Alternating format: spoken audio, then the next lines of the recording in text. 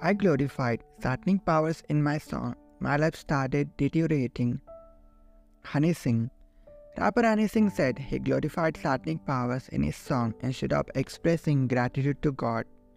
Adding, since then my life and mind started deteriorating.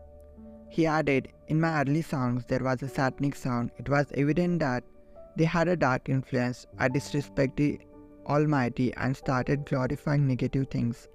I became an atheist at the age of 13.